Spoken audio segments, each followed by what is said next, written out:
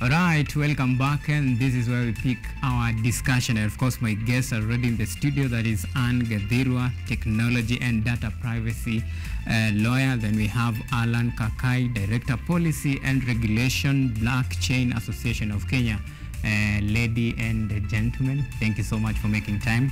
And uh, of course, before we kickstart this, um, you know, discussion, I want us to take a look at the Data uh, Protection Act. That is the purpose of the uh, the act is to give effect to Article 31, Clause C and D of the Constitution, which guarantee the safety of every person, uh, and of course the safety of every person right to privacy over information relating to their family or private affairs and their communication. And of course, there is reason why, or rather the purpose why this act was enacted.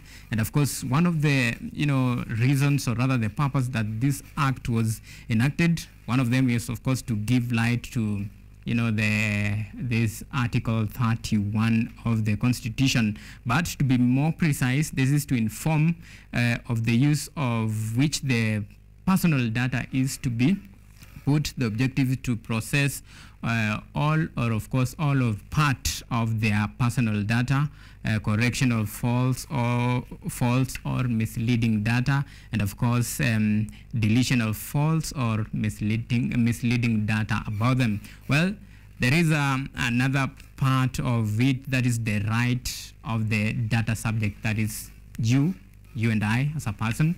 Well you have a right to be informed of the use to which their personal data is to be put to the objective of uh, processing of all or part of their personal data, correction of false, misleading data, and deletion of false or misleading data. There is cases of exemptions where the part, this is part 7 of the Act, section 51, and uh, of course 50, 51 to 55 of the Data Protection Act, which provide for exemption from the Act in the event of the data necessary for, of course, for national security, and where the disclosure is required to um, is required under any written law or an order of the court and the event of prevention or detection of crime. That is the only instant where this act is exempted. Well, so what is prohibited under this act? Of course, the act prohibits cross-border transfer of personal data, and we'll take a look at that just to get a brief understanding of what it entails. Uh, and of course, except where there is proof of adequate data protection to safeguard our consent from the data subject. Well, it has been quite um, a busy week as far for Kenyans, of course, as raised for this uh, free 7,000 shillings is concerned. But there has been some, you know, genuine concern, if you ask me, uh, from the government and even some of Kenyans. And this begs the question, just how safe is our data out there? I'll start with you, Alan. How safe is our data generally or hmm In regard, a lot of things has been happening. Make no mistake. Recently, we had um, claim of you know cyber attack and some anonymous anonymous people were trying to hack into government uh, you know a database. Of course, claims that were um, uh, refuted, and the government say we have a strong database, and there is nothing like that. That um, you know people yes they tried but did not manage to hack well and that comes and this the world can come at the backdrop of you know you know we just have recently uh, such claim of attack and now we have database and the government is say, saying well this might be a good idea yes but just how safe is the data that is being collected outside there that is the reason why it led to this suspension pending investigation so yeah. How is our data to answer your question, first of all, this this phrase in the tech world we use, data is the new oil. So I mean before the scramble for data, there was scramble for oil, gold and all that. Right. So right now there's a very big scramble for data. So how safe is our data? It depends on whose hands it is being held. So for instance, if we started uh, with the, the recent breach you just mentioned uh, the government. Is that safe? They indicated that it's safe, but the only way we can be guaranteed by that is probably if they produce cybersecurity and penetration testing results to guarantee the safety of data. Because the only way you can guarantee safety of data is actually provide reports, audited reports, indicating that this data is actually safe. So with respect to WorldCoin, their argument on the safety of data is that they have an open source uh, protocol which has been audited by several institutions. Mhm. And uh, I believe the reason for the freeze for the government is also to provide government and local forensic and cybersecurity or, or, or auditors or forensic experts to audit the WorldCoin, WorldCoin's uh, open source protocol and understand that whatever they're doing, whatever data they're collecting is safe enough for them to continue with their activities. All right. So safety of data lies with the guarantee of these uh, cybersecurity audits and uh, forensic reports. Okay. Well, um, and there is um, when actually uh, in regard to this uh, WorldCoin, first of one of the requirement here you have first you have to you know give your full names something like that your email address your phone number and um, there is where they ask you to you know allow access to your contacts. That is contact address. Well these are very sensitive information if you ask me. Do you think the move by the government to some extent actually um, you know could of course you know prevent kenyan in the even, uh, eventuality of what could have you know occurred in terms of um, uh, you know too much information too much sensitive data out there at the hands of a private entity. That by the way um, the government has said this um, this this company in particular did not register. It's not registered here in Kenya. And of course we'll talk about how can a company uh, operate in Kenya obtain data from a Kenyan citizen without being registered but first do you think the move was fine The move to stop WorldCoin from operating in Kenya is one that requires a lot of stakeholder engagement. Mhm. It requires conversations between WorldCoin themselves, the people from whom they are collecting this data from, and the government regulators, Mhm. because there is an imbalance of knowledge between the persons who they're collecting this data from and the company themselves. And the data that they're collecting is sensitive personal data that could be used for several purposes. However, the company claims that the data is delinked from the data subject. And so it is on the blockchain, you not fully, you cannot be linked back to the person who was, it was collected from. Mhm. And so there is need for communication and understanding between the stakeholders. However, whether I support it or the banning, for now, not necessarily. Mhm. There needs to be more investigation into the technology that is being used, both the hardware and the software, and then can be able to find out whether or not the company should continue to operate in our jurisdiction. All right. Well, does it bother you? Because this is a company that has been under investigation. Uh, we have uh, countries like Germany, we have France, we have United Kingdom, then India still raising such concern. Does it raise, you know, questions over its, you know, intention? Because if if a country like Germany, France can raise those questions and uh, and they are still under investigation and such you know looming question have not been addressed don't you think uh, it's something that um, you know raised some sort of red flag Okay, so WorldCoin coming into the market states that they want to create a mechanism through which you can disseminate universal basic income, which seems to be a very novel and noble idea, which is Mhm. even the poorest of the poor, people who are far-flung, people who are outside of the regular financial system can Mhm. have access to funds. The purpose of collection and the method of collection is what is raising a lot of red flags for people. And so, if we can be able to look at the technology, we can look at the hardware, we can look at the software, the Mhm. orb, once you have been able to scan your iris, your face, your body mapping, where does that information go? Mhm. When you read their white paper, when you read um, their consent forms, it says that that data is delinked from the data subject. It moves on and it is stored primarily in the orb until it moves as, uh, as an encrypted code Mhm. into their system. So I would not write them off right now. okay However, there is need for them to do a lot of public education, for them to liaise with stakeholders so that we can be able to understand the system and we can be able to understand how exactly they are collecting and what exactly they're collecting. All right. Well, um, Alan, who is responsible, of course, for you know granting permission for such company to operate in Kenya? That's a very interesting question. I was actually having a discussion with Anne behind the scenes on that because mm uh, you've taken us through Article 31 of the Constitution and through the Data Protection Act, which sets up an office called the Office of Data Protection Commissioner. So the Office of Data Protection Commissioner is uh, the office responsible for protecting personal data. Mhm. Personal data by mean by this I mean data of individuals, you, myself, and every other person in the studio, not institutional data. And uh, the to this extent, the office issues a data controller license and a data processor license. And interestingly, WorldCoin uh, went through the audit process by, before the launch, and uh, the commissioner issued them with both licenses. And interestingly, if you did a search just before their launch on the portal, you would see them as a registered entity. So any person who is coming to collect and process personal data within Kenya's jurisdiction is responsible for, um, uh, is uh, subject to ODPC's mandate and is required to have those two licenses.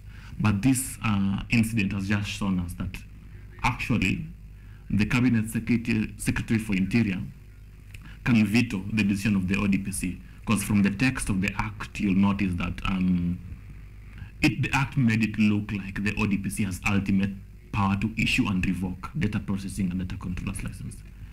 But uh, the issue of national security usually takes precedent over any other issue. So when it gets to a point where something is an issue of national, national security, where the ODPC has allowed you to operate, but the CS of Interior feels like they're not confident with security, they can also have a security oversight Mhm. t- to that extent. Mhm. Yeah. Well, um, today government issued you know a statement saying that um, you know WorldCoin is operating illegally in Kenya. While you have taken us through the process, who is responsible for you know giving license. So between you know the body that um, is mandated to issue the license and the government, so who is lying and who is fooling who? And Yeah. Uh, just once, you've, you've noticed that there's been a lot of push and pull between government regulators on the issue of WorldCoin. okay. The first statement that was issued last week, Friday, at around 1, 1, 1 p.m., was issued by Ms. Kassait herself, the Data Protection Commissioner, and her position at that on that day was very passive. She did not take the stance that WorldCoin is illegal, and to some extent, it implied that she acknowledged the operations. And that same day, I did a search and noted that WorldCoin has both licenses. Then later on, saw CS of ICT, CS Owalo, who still uh, validated and said WorldCoin is doing well. These concerns have only come in when the interior security has started, CS for interior started raising concerns. So terming it illegal, that's a very strong accusation. Let's just say they were operating and uh, to the extent that regu- some regulators were not comfortable with, specifically interior security, and there is need for further interrogation and audit, but they were not acting illegally. They were well licensed to operate within the country, and they were licensed by the ODPC, and even the CS4ICT himself acknowledged. It's just a matter of interrogating and understanding what exactly they're doing from a security perspective. All right. Well, um, and I want to read to you, you know, the reason why Ministry of Interior uh, actually, you know, suspended this. Well, part of the reason was security and protection of the data collected and how the collector intend to use the data is not clear. That is one of the things. Then there is inadequate information on the cyber security safeguard and of course the placing of large uh, data in the hands of private business. Well, you know, you understand what is happening here. And uh, this is a very sensitive information as far as, uh, you know, the Data Protection Act is concerned. And then I want to get your attention on this, um, you know, the, the, the part that, uh, you know, what is prohibited, and this is the, um, the cross-border transfer. Uh, based on your knowledge, could you, you know, you know, keep us to date on what is happening, how, under which circumstances is uh, this uh, border transfer is prohibited and under what you know special circumstances it's allowed. Because according to my understanding this is um, a foreign company of course obtaining Kenyans data but nobody's nobody really knows where this our the information of this data that they collect will be used. Now you see where there is contradicting information so from legal perspective put us to speed with this Okay, so a cross-border data transfer is where data moves from Kenya, our Mhm. jurisdiction, into another country, another country's jurisdiction. It's something that happens often, Mhm. all the time. Whenever you log into an app, whenever you use a website, Mhm. most of the time those servers are not inside our country. They're usually in another country, and that is where a cross-border data transfer occurs. The Office of the Data Protection Commissioner is supposed to look at the data protection laws in that other country and determine whether our data is safe there, because that is a form of data processing, and storage, collection, alteration of any kind is a form of data processing. Mhm. And that is something that happens when that information is across the borders. And so um, there are risks that are associated with cross-border data transfers okay and those risks are supposed to be assessed and the government is supposed to determine whether that jurisdiction is safe.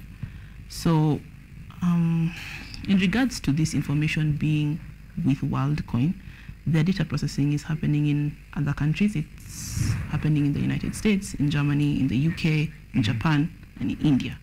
Now, some of those jurisdictions have a threshold as high as ours when it comes to data processing, that is Mhm. Germany and the United Kingdom, mostly because they use a regulation that is similar to ours, the General Data Protection Regulation, GDPR. Mhm. However, when the processing goes to America, it goes to Japan, it goes to India, questions arise as to how safe our data is. And that's where the Office of Data Protection Commissioner is supposed to look at it and determine is the protection in the processing in those countries adequate. Mhm. Up until this point, the ODPC gave them a data control and data processor license. That means that it had gone through and looked at the processing that's happening and determined that it is fine. Mhm. So you Okay. have to leave it at that. Well, um, uh, I'm I'm looking at uh, you know uh, this the are the you know circumstances under which it's you know at least allowed when you give your, your consent. Well, um, I'm not sure if Kenyans actually uh, know what they are signing up for, especially when it comes to this. Like um, you just um, you go there, you put your details out there, but you don't know this. Do you think under this pro- provision, this one uh, that prohibit you know cross-border transfer of data, do you think probably this company is breaching that uh, prohibition that uh, is um, you know enacted in this act?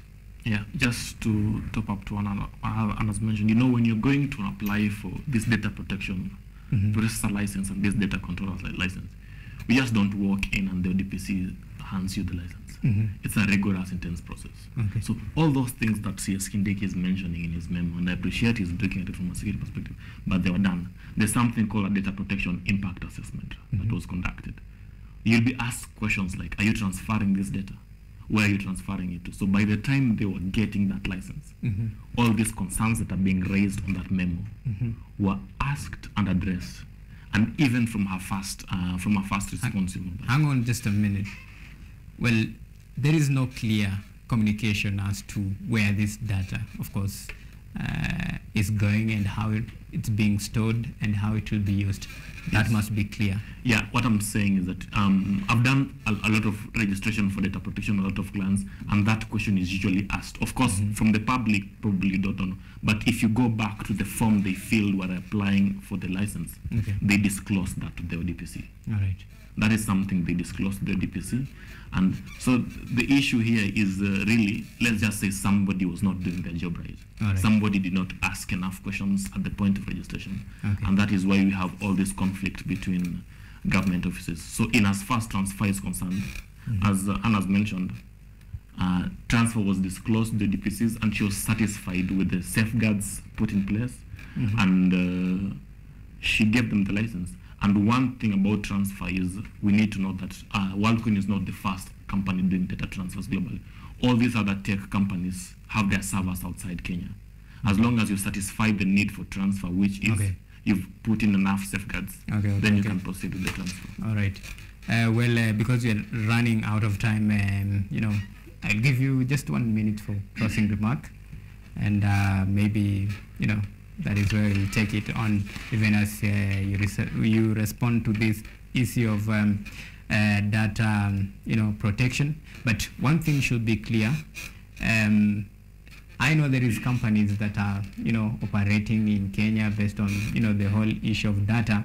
That is fine. The issue at hand here is this company that government is saying this one did not, you know, uh, follow the right procedure.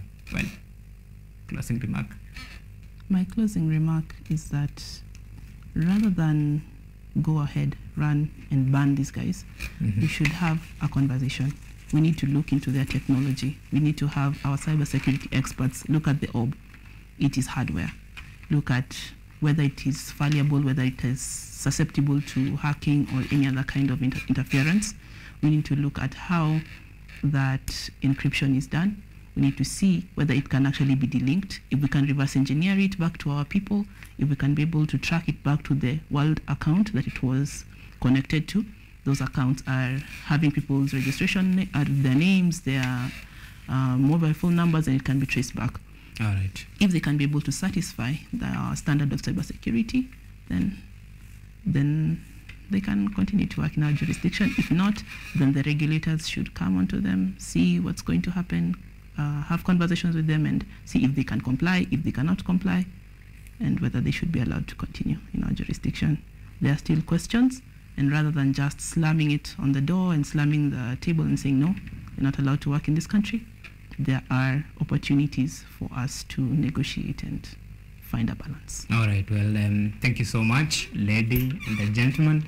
Well, that was uh, Anne Gadirwa, the technology and data privacy lawyer, and of course, Alan Kaikai, Director, Policy and Regulation, Blockchain Association of Kenya. Well, your time is much appreciated. Well, that is where we